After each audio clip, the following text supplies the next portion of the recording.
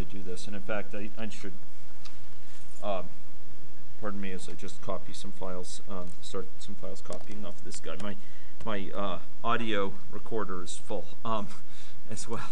Uh, so I, I've been talking. Um, okay, uh, so um, uh, the question was, um, what is the semantics of, of rates associated with, uh, with transitions? You recall the transitions as we've been using them have, um, uh, can be associated with uh, five or so different types of, of um, semantics of transitions. Um, specifically, they can be associated with transitions based on rates, which is something we'll talk about now. It could be based on transitions associated with uh, triggering by, uh, by messages. It could be traced on transitions according, uh, associated with um, uh, fixed timeout, transitions associated with arrival, and transitions associated with, uh, with um, uh, conditions, okay? And the question was brought, what is the meaning of a rate transition? Um, it's, I believe, the, the default. It's the first of them. Um, and uh, specifically, um, we'll, we'll go and look at it uh, here. Um, uh, we, we have something along, along these lines. Um, right. Um, so a rate of 0.01, okay? And, and I kind of waved my hands about it and said that uh, a rate of 0.01 implies a mean time of residence of, of 100 time units. Um, and uh, I kind of left it at that. And it seems that there's some substantial questions about this. So I'd like to talk about what this rate means in more detail. And I hope that I'll answer the questions about it. So um, some may have seen fixed rates before in the form of transition rates in compartment models, okay? Um, uh, in compartment models, we commonly have a, a fixed rate of, of transition from uh, stock A to stock B. Um, and uh, within this context, the flow out of a stock was commonly set by multiplication of the contents of that stock, the number of people in stock A, times some rate of transition. And um, uh, this might be uh, very commonly force of infection. Um, uh, it's absent here, but force of infection, talking about this lambda. It might be a uh, chance per unit time of, of, of getting vaccinated multiplied by the stock of susceptible people or what have you. Um, we use different names for these rates. Transition rates, likelihood of transition per unit time, and transition hazard. Um, the idea is conditional on you being in that stock. You have a certain chance per unit time of, of transitioning to another, to another stock, okay? Because it's a likelihood unit time, if it were just likelihood by itself, it would be between 0 because it's a likelihood per unit time, it can be greater than 1. Okay, it can be arbitrarily large, uh, although it's bounded below by 0. Um, so, so for example, um, if we had an SIR model and we had a transition uh, in, a, in a compartmental model from, from um, S to some recovered state labeled here T for um, we might have a recovery day and um, the reciprocal of that recovery delay will be a rate multiplied by i for them to transition from i to t. Similarly, the be immunity loss delay, and um, the, the formula associated with newly susceptible, um, that is the, the number of people per unit time that, that have the waning immunity, is t over the immunity loss delay. In other words, t would be multiplied times 1 over the immunity loss delay. Here's another fixed transition in a compartmental context, annual risk of death or mortality hazard. And the formula here be x times alpha, right? Um, now, uh, once again, this is uh, 1 over mean time till death in, in that, in that um, state, okay?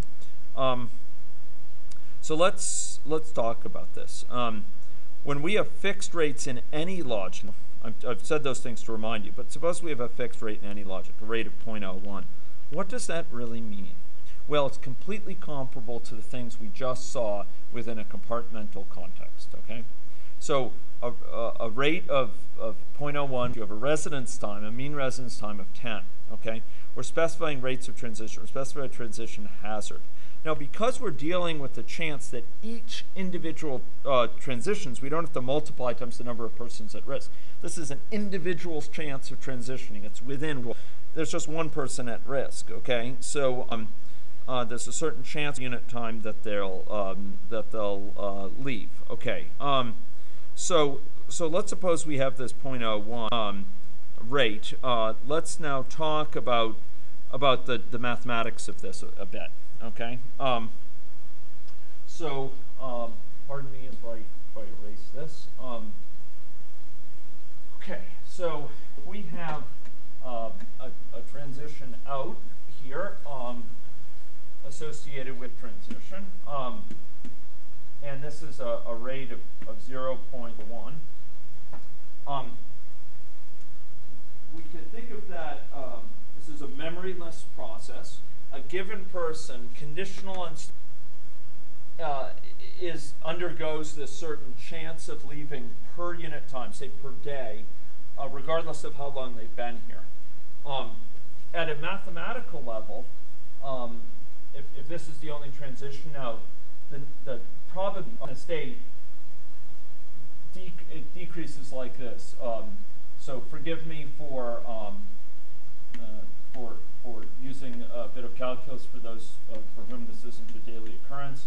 But uh, uh, we write p dot or dp dt equals 0.01 times p, okay? Um, excuse me, minus. Um, so, so the likelihood of remaining in here, if, if you have a certain probability of, of remaining, remaining here in the first place, your probability of remaining here after a small interval dt um, is just um, it, it, goes down by 0.01 times the probability of remaining here. And this leads to a, this leads to the probability being e to the minus 0.01 times t, okay? Um, so your probability, if, it, if you've started in that stock, the probability that you'll still remain there after one time unit is, is this. The probability after two time units is 0 point minus 0, e to the minus 0 point, etc. And so this decreases exponentially. The residence time is exponentially distributed um, according to this, uh, this formula right here.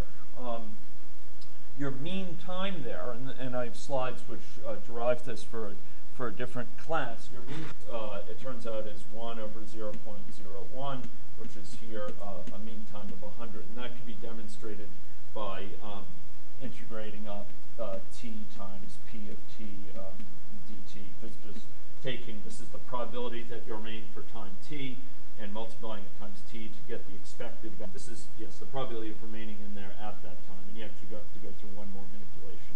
And you'll integrate it up, and um, and you'll get a, a mean time of, of, uh, of residence in that, and it turns out to be this value. So in short, your chance of leaving here is independent of how long you've been here. Now, this is the probability of remaining in that state after time t. And um, you, uh, you know, given that you remain in there, you, but um, your chance of still remaining there gets smaller and smaller um, over over time, for sure. And uh, it's highest, um, you know, highest obviously uh, early on. So. That's a little bit um, of the comments on the meaning there. So as long as you're still in there, you have this, this fixed chance of leaving per unit time. So what would it mean if, if I have a rate here instead of, let's say, 5? What would that mean? a mean time of being there 1 over 5. Um, and so after one time unit, um, this uh, this is going to be here. Um, uh, you can this is going to be decreasing as p of t equals e to the minus five times t.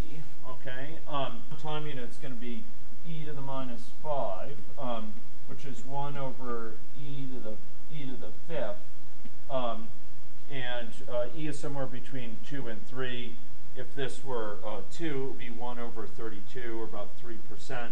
Um, if it were uh, 3, I should know what that is. Um, what would be uh, 81 times uh, times 9, so something like uh, uh, 729, uh, 1 over 729, so a little bit more than 1 over 1,000.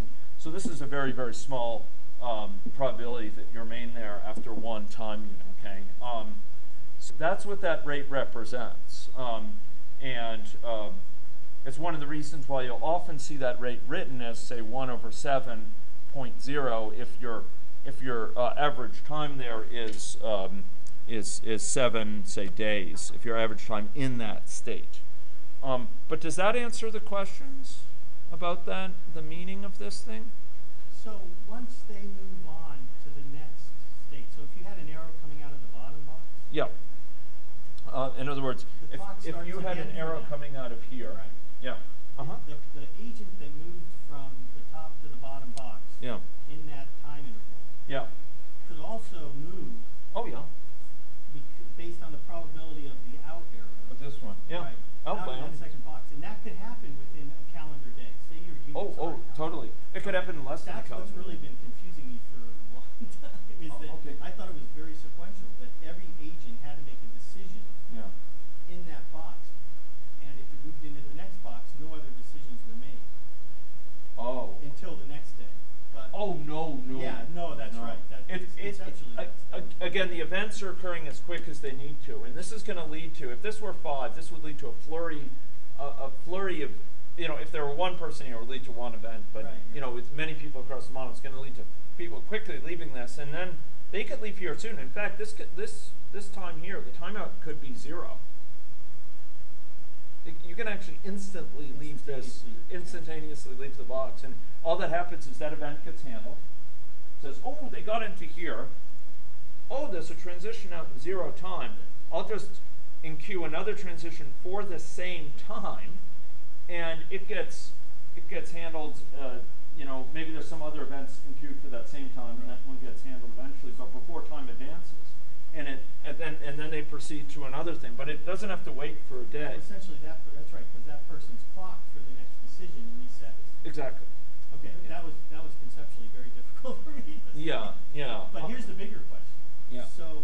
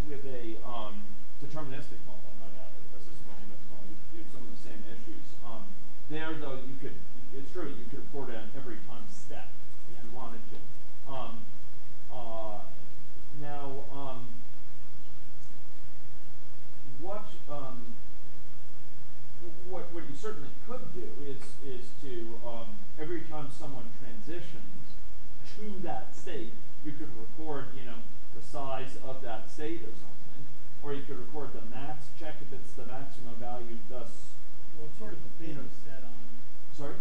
well, I think of it as binning, if we're gonna, in this kind of thinking. Yeah. So your bin is defined by the time duration you wanna work with. So you have a counter that just accumulates the people that are in that bin within that time interval.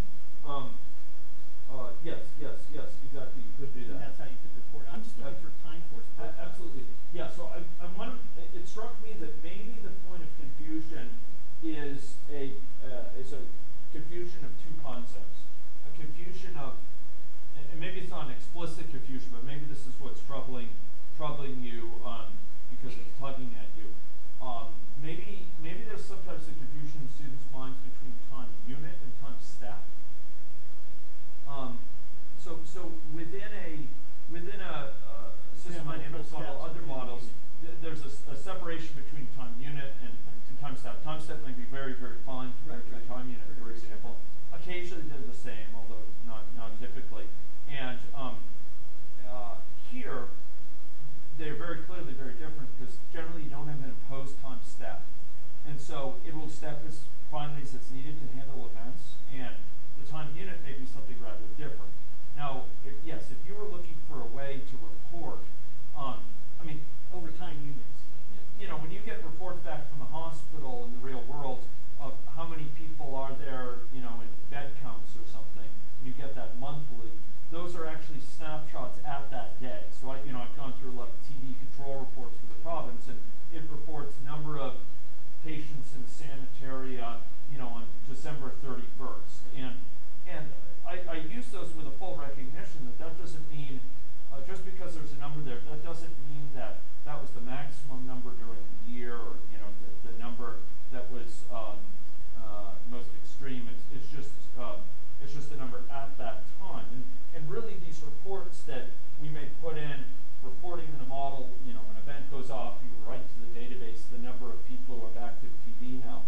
That, um, that's not necessarily a reflection of the number that, um, that, you know, the maximum number during the year. Right, but in a temporal sense, at that time, that's the number in that Correct. hospital. At that snapshot. Well, that's right, that's how you do a time course profile, I mean, a deterministic time course. Okay, but you could do the same thing here. That's, that, that report at a certain time will be the exact number that are in that state at that time. It's just that people will have moved. It's as if you freeze the model at that time and you're saying how many people are in the state. And this doesn't, none of this changes the legitimacy of that number. It's completely unchanged. These transitions, when they occur, are instantaneous transitions. It's not like someone remains in this pipe, trapped in the pipe, um, you know, for three days as they transition across. They, they, they're going to be instantly transitioning. If you freeze it at a, at a given point in time, they're going to be either in this stock or that, or this, this, this state or that state or some other state at that time. And so you can do, the, the situation here is completely analogous to, you know, the situation with the hospital reporting at this time there were this many patients in our beds. Similarly here.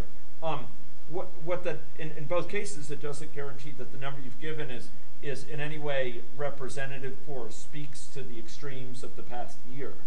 If you wanted to keep track of how many people you know, the, the incident cases over the past year, you could do so, and we saw that with that flow variable I introduced um, uh, uh, yesterday, where I where I had a variable that every time someone someone um, uh, developed uh, illness, uh, it would increment it, and then it reported it, um, and uh, so everyone who developed illness within the course of a given day got an increment and then report at the end of the day, and it reset it. Do you remember that?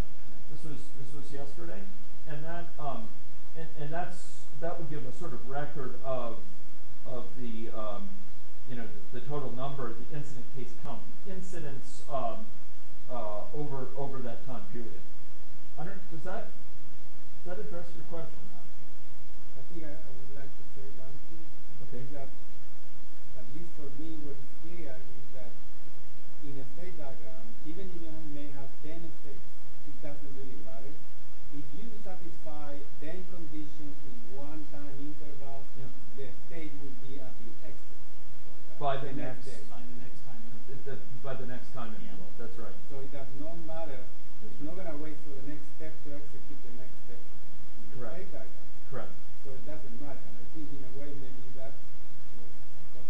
mean. uh, Yeah, I that's, fundamentally what was causing the problem. Okay, yeah, I mean, generally what's gonna happen is you're gonna come in, go by, okay, so, so, so this event, so you come into the state, let's suppose this is the only out transit, it actually pre-schedules when this is. It draws from an exponential, it draws from one of these. Draws from an exponential, schedules this, and, and actually you can get a report of when that will occur. And comes in here, and then, and then, um, at that time, it instantly transitions here. So it appears here, and, and then it tries to, to calculate when it's gonna leave via these other things. And some of them it doesn't know, like a message, you know, it's, it, it could occur at any time. But typically it's gonna be in this state for some amount of time. It's possible you could have an instantaneous transition. Um, uh, and you could go on to another state and another state, all in that same time, and then until you end up in something where there's not an instantaneous transition out, you know. But generally speaking, when you come into a state, you're going to spend some amount of time there, and you're going to get a get a Right, rest there, and you'll be from there from then on. Within a time interval Yeah. for an agent, Yeah, if they transition, yeah, the, the time interval starts again for that agent, so they can transition out of where they just moved into. That- That's, that was the key for me. That that's true, and so they may be. That's absolutely right, and so they may be in this. You know, they handle an event, so they come into here at at call it relative time zero, and and then they leave maybe at this time, and then they come into here, and then they leave this state at this time, and and it's sort of um, you know when they when they come in here, it sort of figures out when they're going to leave, and it and it tries to pre-schedule that. But bear in mind that event may get canceled because they may end up leaving because of a message on another Right, thing right, right. and um, on another transition. And the point, um, a point here is, let's suppose that we had a reporting event, a, a sort of global event went off, you know, um, somewhere up here that reports every time unit, and we reported sort of at this time. We cycle through the population, would say, what state are you in? What state are you in? What state are you in? What state are you in? We go through each of those people in the population, review those statistics, and we write it to our database. It will, and you ask, what state are you in? He'll say, oh, I'm in this state and and that's all fine and good.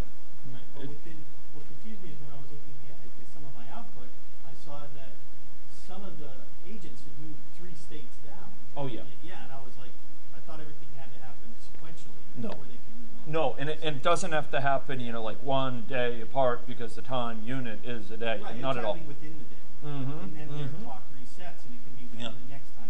Yeah, no, I get that. Um, people Ouch. could live and die. Empires could be built and crumbled within the span of one time unit. One time unit.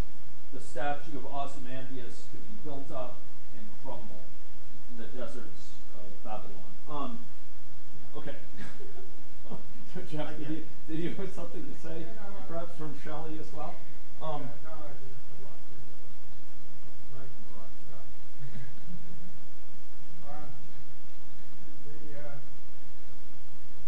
we had a very similar discussion to this in, I think that agent-based modeling might bother. And I remember Andre saying that it kind of shows you, if you're thinking of average illness duration in that time, that, you know, let's say that everyone infected during that illness. Okay, so uh, this shows you the, what a poor representation of reality the exponential decay Yeah. based on a compartmental model is. yeah. A much more natural way to put it would be an average duration of illness, which is to have a minimum, maximum, and typical, which you'd learn. Yes. The world lives in this wrongness right now. Yeah, I no, mean, well, that's fine. I, I have, It's to- a- I have it's to a use these- limitation of the Yeah, no, and I differential can equation. appreciate It's got nothing to do with reality. Yeah. I'm trying to just learn how to bridge Yeah. this. But Yeah. My, my point would be, for a lot of transitions in agents, the last thing you'd use is a range. Yeah. Yeah. Because it's just Well, these are unnatural. ones- All you'd use it for is to replicate the findings of a compartmental model. Right, right, exactly. Okay. That's, yeah, that's sort of what we're using. Yeah. Because it's highly unnatural to think of In an agent's. an average duration of illness of near zero. Yeah. Yeah, yeah. It has no, a no. minimum, a typical, and a maximum. Right. Yes. And again, a triangular distribution that you sample from the customer is a much better way. Yeah. Oh, yeah, no, Yeah. I, I agree, this is a good way. It's just, Y- Yeah, no, no, I don't think there's a disagreement here uh, about it. I, I, I, I want to riff off of something Jeff just said, though, because I, I think once again um, he's hit on an absolutely critical point, and and one um, about which uh, I've been remiss. Um, so, so, so let's look at this exponential distribution, which is indeed the, it's not just the typical, it's almost the enforced distribution in an aggregate model. Because with a first order delay in an aggregate model, um, when you have something like this and you have some, you know, mean time, mean time, um, you know, um, in CKD stage two or something like that, and and and you know this is the number of people, and you know CKD stage two, and this is the mean time. Call it call it mu, and this is you know C two over mu, the, the the rate of flow.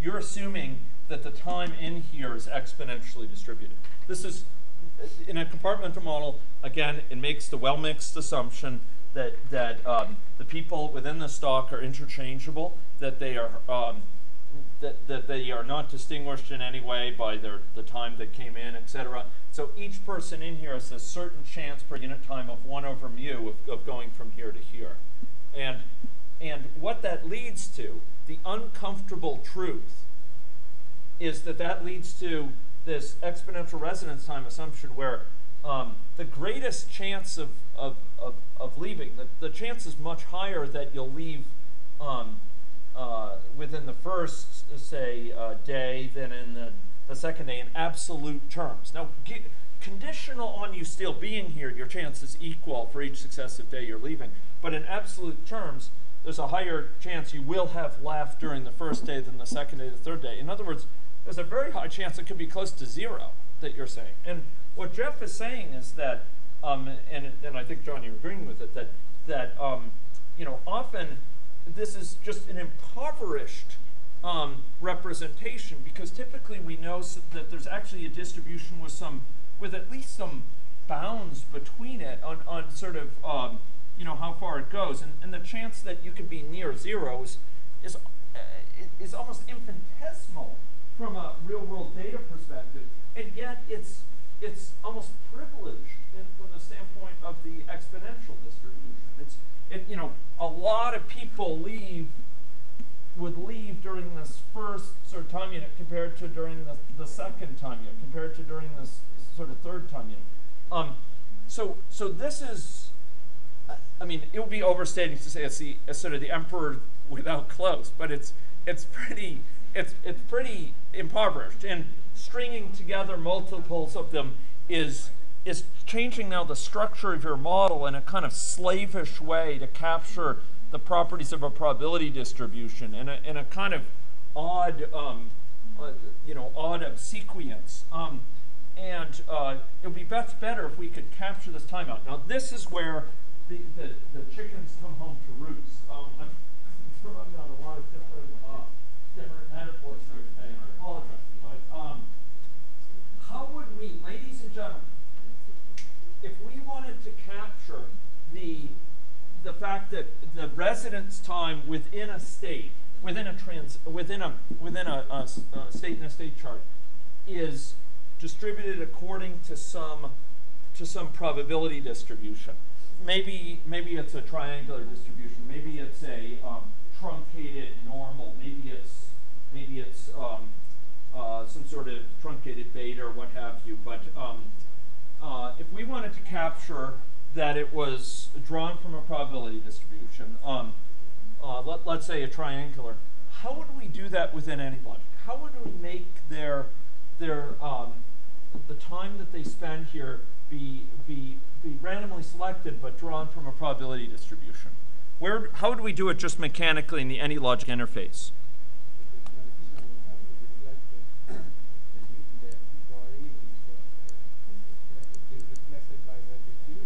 Okay, and so so if I were here, um, uh, what would what would I use? What would I use here? If I wanted to have them be drawn from a probability distribution, would I? A rate will lead to this sort of emperor's new, the emperor has no clothes sort of situation. Well, that, again, that's too strong, but what would I use? Which of these choices? You'd use a timeout where it's not fixed, but it's drawn from a distribution. So you'd have like a triangular distribution with a, um, a minimum and uh, a maximum, right? Um, something like that. And so you might have it between three days and six days, or you know, say say one and three days as the uh, incubation time for flu or something like that, and and you don't have to worry that you've implicitly assumed that people that there's a lot of people who are going to have almost no no time. You can choose your distribution at your leisure. You could even choose an exponential, which would lead to this, but you have a lot more flexibility. And that, ladies and gentlemen, is non-trivial. Um, but uh, let me ask this. I mean, um, so so we see here a timeout with with uh, with um, a draw from this distribution, but but what does that that really mean? Um, uh, does that mean it's going to be running this ongoing ongoing basis over time? What what does this mean? Does does it mean that this is always going to be the timeout? Like whenever anyone in the population is going to use the same timeout here? No, it's going to each time someone enters in here, it's going to say it's time to figure out how long they're going to be in the state. Let's draw it from this distribution. So even if that same person, well, if, we had waning immunity and they came back in here, it, the next time they might have a, a different timeout, and the next time a different timeout, et cetera. You know, if, if you wanted people to differ heterogeneously with regards to how long it takes them to recover, you could have a, a separate parameter or variable that computes that and then uses that as their characteristic timeout. But the point is, this is kind of um, uh, using, imposing a, a, a distribution, an explicitly chosen distribution for this that at least has some defensibility behind it. This distribution, which lies implicit within um, compartmental models, um, in- including many esteemed system dynamics models, um, including some by the instructor, um, it, it, it, it has this somewhat somewhat awkward, um, somewhat um, somewhat embarrassing sort of uh, assumption behind it about the, the nature of that transition. Um, was that was that a worthy um, set of uh, discussions? I Okay. Okay. Everybody else already knows that. For me, it. Okay, okay. I'm, I'm, I'm glad it's uh, glad it's useful, and um, I, I regret the opportunity costs attendant upon these things. Um, but um,